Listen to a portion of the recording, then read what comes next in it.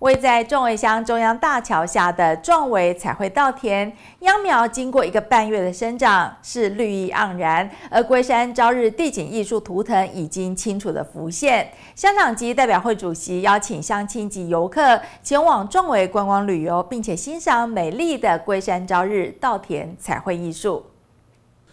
龟山岛海浪、渔船、海鸟、云朵，加上灿烂的日出，形成一幅壮围乡最具有代表性的地景艺术，那就是龟山朝日。这里是壮围乡中央大桥下的彩绘稻田，秧苗经过一个半月的成长，已经翠绿来茁壮，而褐色的龟山朝日图案也清楚的在一整片绿油油的稻田内来浮现，成为壮围乡热门的打卡景点之一。今年的这中央桥下的稻田彩绘哈。啊，是以这咱中央上有代表性的一个迄个龟山朝日的图腾吼，啊来做一个迄个规划。目前看起来啊，这个稻米诶稻的生长速度嘛，算讲袂歹吼。啊，渐渐这个图腾已经浮现。啊，欢迎啊，咱这个有兴趣的这啊民众啊，啊来阮种位遮吼，伫这个啊春天的季节啊，来遮增加。来看这个田间的这个美景哈，啊来遮啊这个行行者。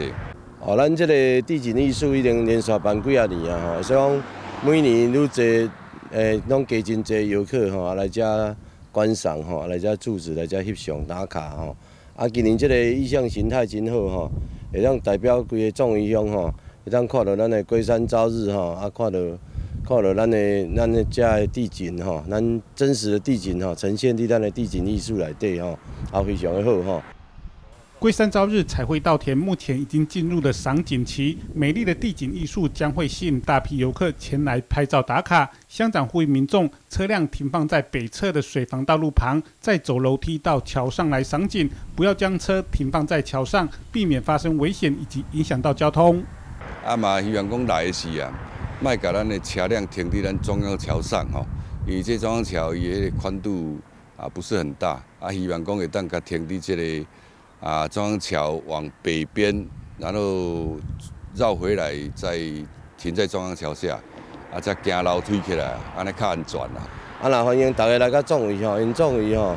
有同好的交通啦吼，啊来到遮吼，除了来看地景艺术吼，让他来阮遮海景啊行行吼。阮海基啊，遮即马吼，然后迄个沙丘旅游中心啦吼，还有一个迄个大块的迄个观景台吼，啊来来阮来阮遐吼，啊来看一寡迄个迄个咱咱太平洋吼，啊真水的海吼，啊真美丽的沙滩吼，啊搁通直接看到咱同水的龟山岛安尼吼。壮围才会稻田龟山朝日美景赏景期预计维持一个半月，乡长以及主席欢迎游客前来壮围乡观光旅游，来到这里欣赏地景艺术以及感受南洋八景之首的龟山朝日美景。宜兰新闻记者石世民采访报道。